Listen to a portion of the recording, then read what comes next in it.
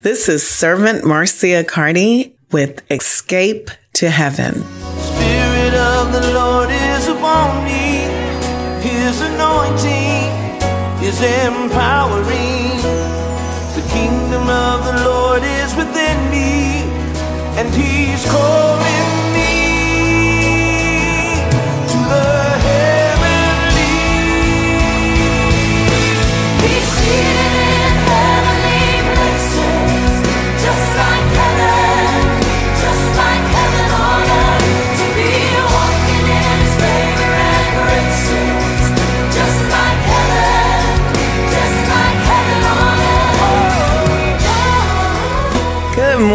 Tallahassee. What a beautiful day to wake up.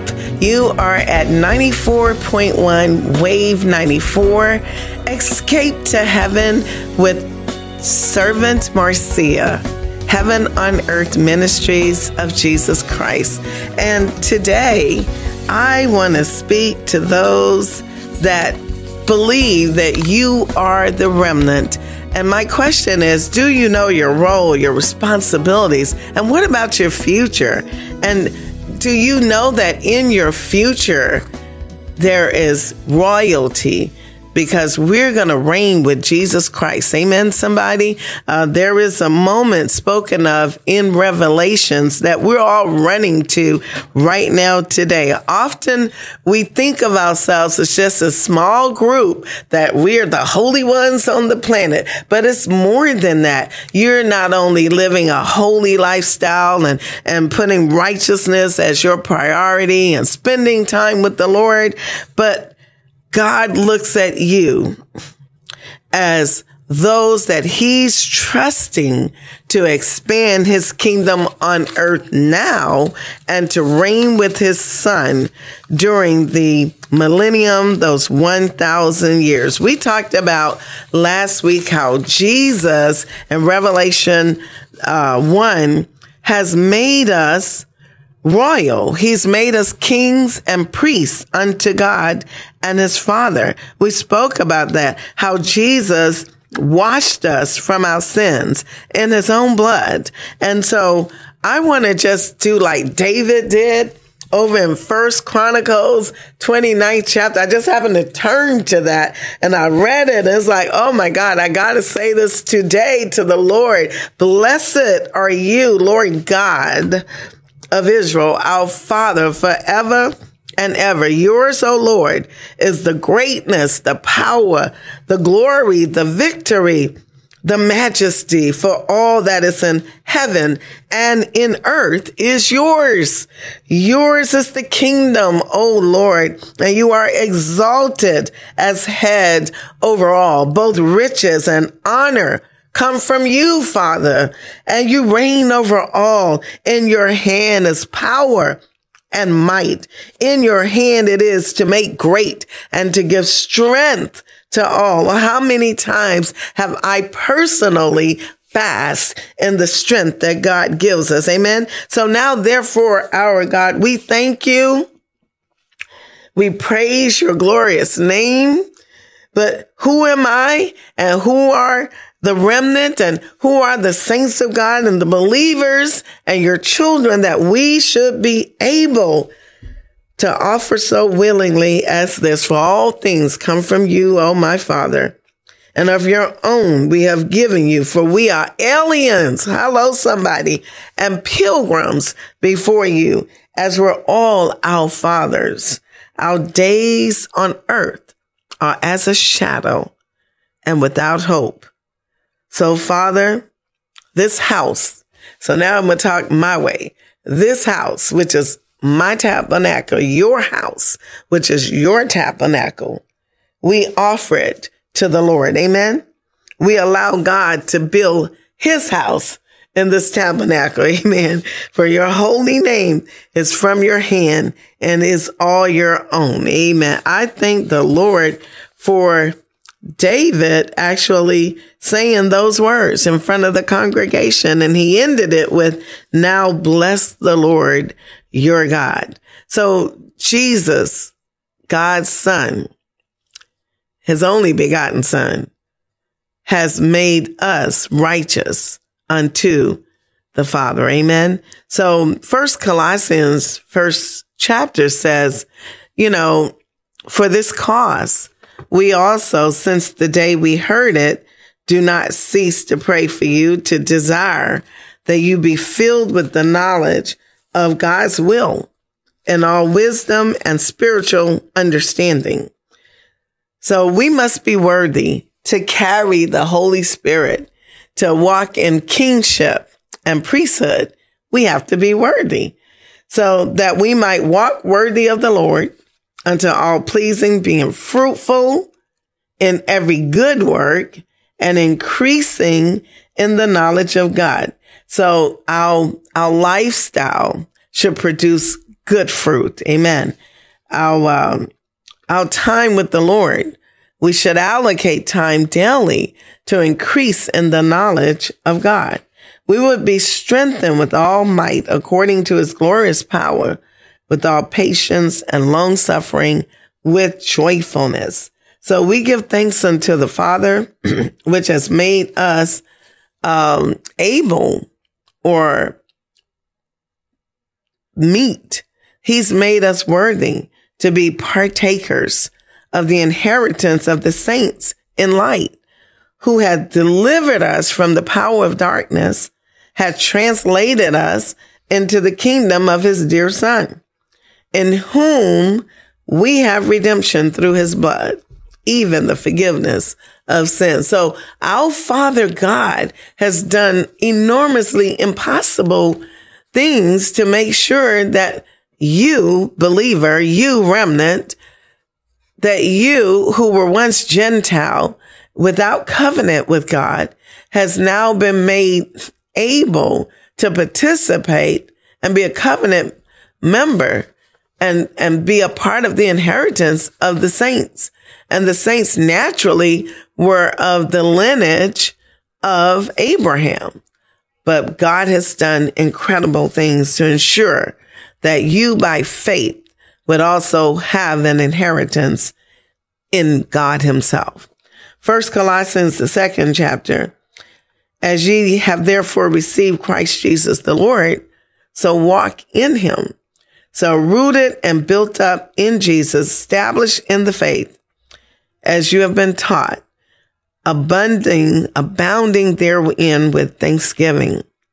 So, saints of God, we are to beware, guard your thoughts, lest any man spoil you through philosophy, vain deceit, after the tradition of men, and after the ways of this world, and not after Christ.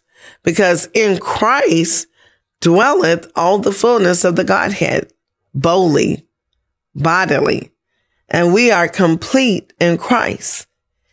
He is the head of all principality and power, in whom also we are circumcised, okay?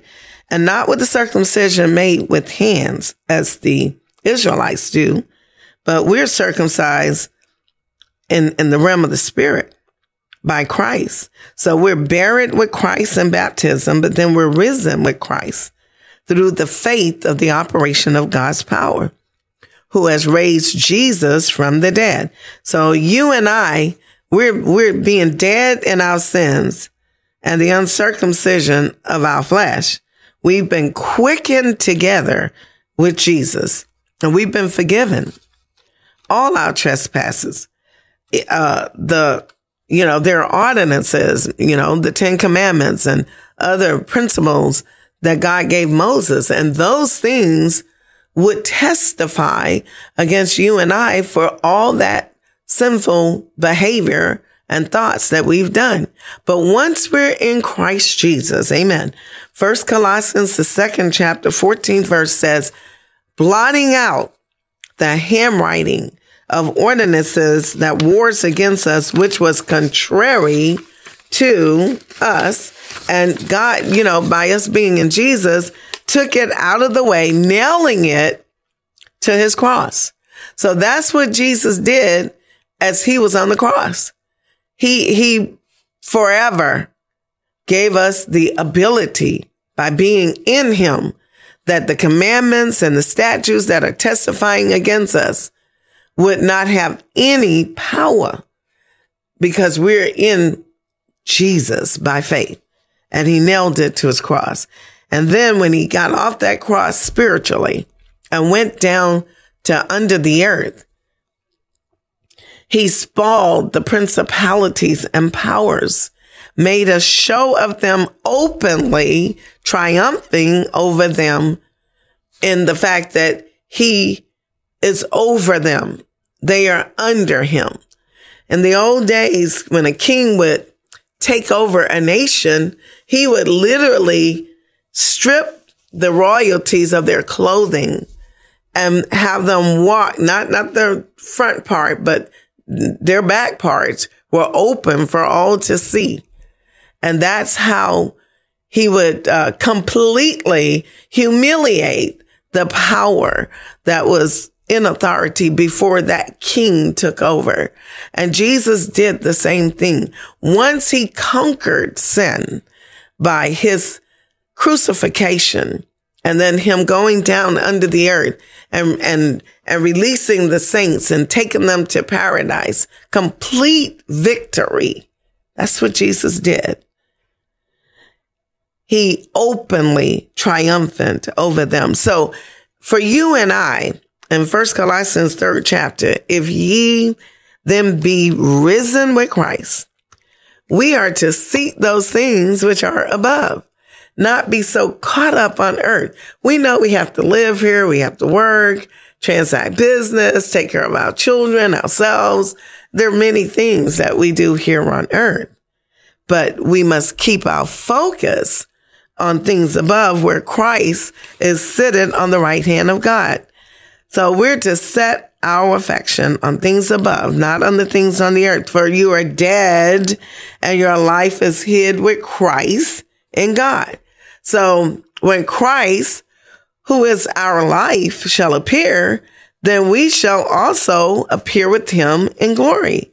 So in order for us to maintain that spiritual position, you know, where we are not defiled by the things of this world.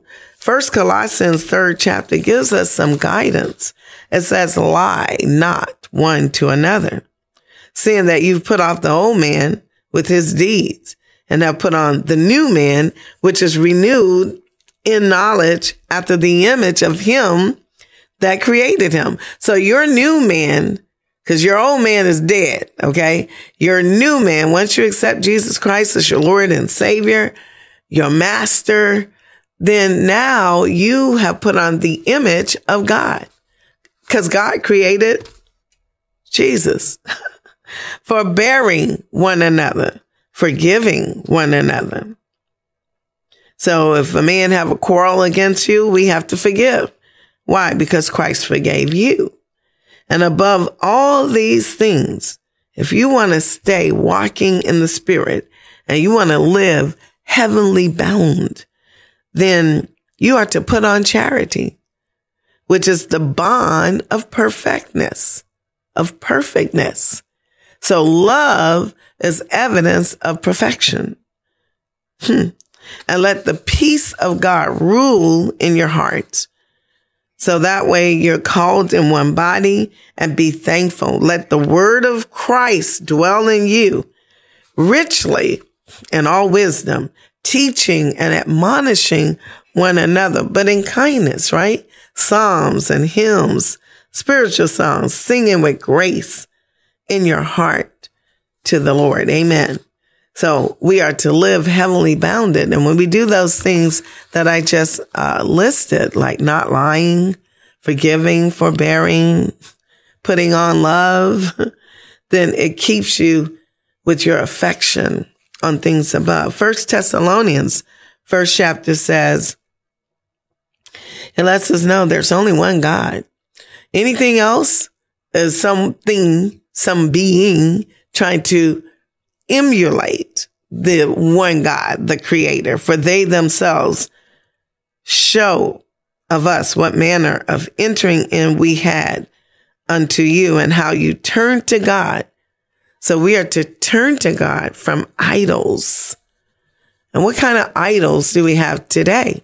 Well, we still have the idols from old. We have the statues of Buddhism, Hinduism, and any kind of other ism. We have the ones that may or may not have statues, uh, voodoo, Santeria, juju, uh, all kind of uh, spiritual things that are done in Africa um, and other countries. Um, so we still have Egypt. So we still have all those kind of gods. Uh, Iran, uh, Persia. Um, we have all those gods, right?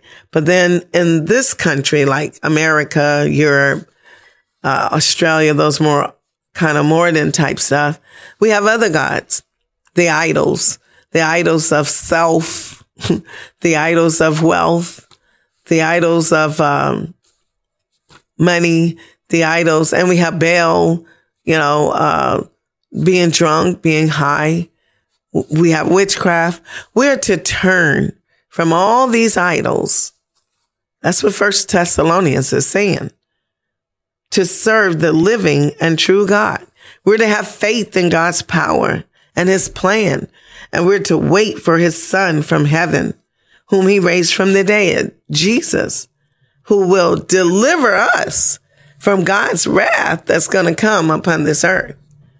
Oh, so turn today, sinners, backsliders, saints of God, remnant, priests, preachers, evangelists, all of us turn from idolatry, you know, worshiping success, turn, you know, worshiping titles. That's in the church. Turn. First Thessalonians second chapter, truth is the lifestyle.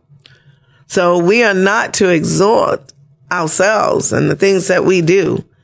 And it should not be of deceit or uncleanness or trickery. But as we are allowed of God to be put in trust with gospel, with the gospel. So when we speak, we're not trying to please men, but God. Why? Because God will try our hearts to see, are we, are we just and truthful people? So we're not to use flattering words. I was speaking to a young preacher last night and before he could get to why he called me, he spent five minutes flattering words. I finally couldn't take it anymore. I said, sir, can you stop and let me understand why have you called me? And that's how God feels. He don't like us to try to impress people with, with words, flattering words but instead be truthful, not not not a cloak of covetousness, because uh, God is our witness. So we are not to seek glory of men or of others, you know, but we're to be gentle. That's what apostles are. Apostles are not haughty. Apostles are not with the spirit of you serve me. No, apostles are gentle, like a nurse. Wow, that's in the Bible. So, my words to you and me, we talked about the first king of Israel, which was Saul, how initially he obeyed the Lord, he prophesied, became a different man. And there were two instances where he did not do what God asked him to do. One of them he did without anybody telling him to do it because he wanted the people to look towards him. And so he offered sacrifice as if he was the prophet. And that's why Prophet Samuel said, obedience is better than sacrifice. so you and I should not reject, do not reject the Lord as Saul did by his actions and his uh, words, because the Lord may take his Holy Spirit from you, just like he did with Saul. And then he sent an evil spirit to torment him. Wow. First Thessalonians, fifth chapter says, we are the children of light. We're the children of day. We're not of the night. We're not of darkness. So if that's the case, we need to be sober minded And today I'm going to tell you that you need to put on the breastplate of faith and love, and for a helmet, the hope of salvation. For God has not appointed believers, remnant, saints of God to wrath, but to obtain salvation by our Lord Jesus Christ, who died for us that whether we are woke or asleep, we should live together with him. So First Thessalonians says, I exhort you, brethren, warn them that are unruly, comfort the feeble minded, support the weak, and be patient toward all men. I'm listening to those words myself. And see that none render evil for evil unto any man, but always following which, what is good, both among yourselves and to all men. Rejoice, pray without ceasing, and in everything that we do, we should give thanks. For this is the will of God in Christ Jesus concerning the remnant, the believers. A lot of times you say, well, I don't know what God wants me to do. What does he want me to do? This is what he wants you to do. What I just said, you know, depart from evil and do good. Quench not the Holy Spirit by having another spirit live in your tabernacle. So you can't have both spirits. You can't have the spirit of pride and unforgiveness and covetousness and self uh, success and then still want to hold on to the Holy Spirit. No, you cannot. You will quench the Holy Spirit and also despise not prophesying. So we are to be the king that Jesus has declared and um, has made us to be. We're being trained right now because we're you you can see that we're in the beginning of the last days. At, at least it feels that way. So we are being trained for our effectiveness on earth in this age that we're living in and for the age which is coming, which is the millennium. And before I go any further, I want to read to you some of the things that uh, they're not the remnant, but they're called the two witnesses. And then we'll go back to the remnant. But in the future, there will be two witnesses. And here's what the Lord said in Revelations 11 chapter. Um, he was telling the man of God to measure the temple of God, the altar, and those who worship there. And he said, leave the outer court. You know, don't measure that because that's for the Gentiles. And they will tread the holy city for 42 months. And God will give power to his two witnesses and they will prophesy. So we just learned that we should not despise prophesies, prophecies. Okay. And so these two witnesses will prophesy 1,260 days. Coincidentally, that's 42 months. and these are the two olive trees and the two lampstands standing before the God of the earth. Okay. And if anyone wants to harm them, fire will proceed from their mouth and destroy, devour their enemies. Okay. And if anyone wants to kill them or harm them, they will be killed by that fire. And these two witnesses will have power to shut heaven. And remember, we had another prophet on earth that did the same thing. I believe it was Elijah. And so the two witnesses in the future, no rain will fall in the days of their prophecy. They will have power over waters to turn them to blood. And we know Prophet Moses did that. They will strike the earth with all plagues as often as they desire.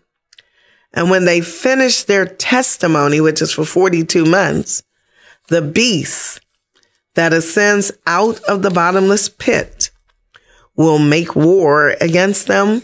The beast will overcome them and will kill them.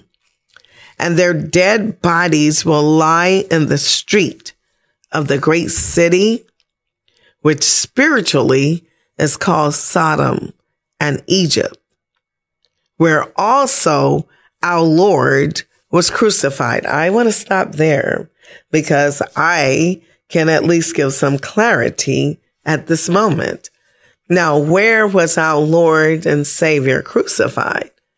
He was crucified in Jerusalem.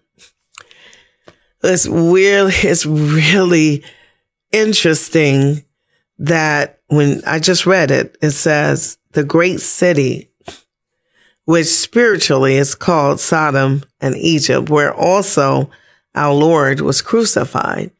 So are we saying, are the, is the Bible saying that Jerusalem is spiritually Sodom and Egypt? Because that's what the Bible says.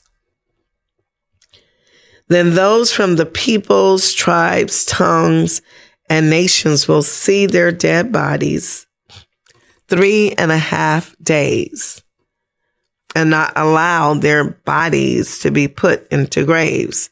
And those who dwell on the earth will rejoice over them, make mercy, marry, and send gifts because these two prophets tormented those who dwell on the earth. But after the three and a half days, the breath of life from God will enter their bodies. They will stand on their feet. Great fear will fall on all those who saw them and they will hear a loud voice from heaven saying to them, come up here.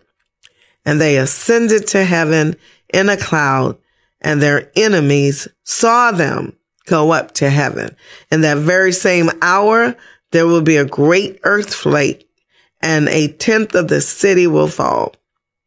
In that earthquake, 7,000 people will be killed and the rest will be afraid and give glory to the God of heaven. Now, my question is do, do you want to be in Israel or Jerusalem at that time? I don't know. I don't think I would want to be there.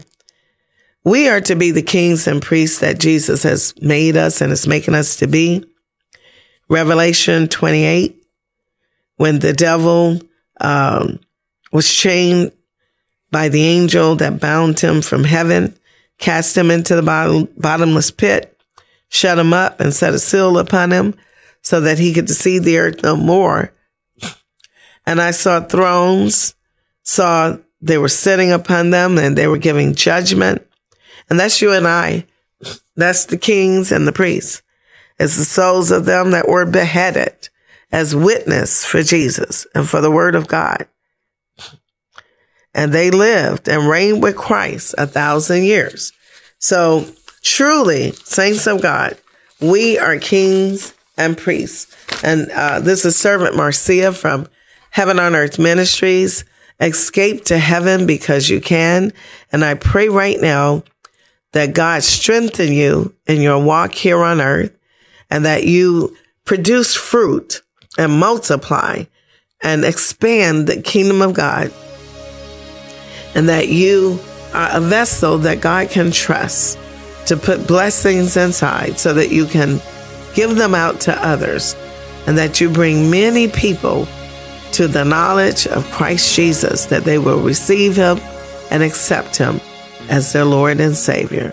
God bless you today, and may you walk forth and have a week of prosperity, multiplication, take dominion, and rule as ambassadors of the Creator God on earth. In Jesus' name I pray. Amen. God bless you. Can't wait to see you next week. God bless. Bye bye. Anybody wanna see loved ones? Mm, yeah.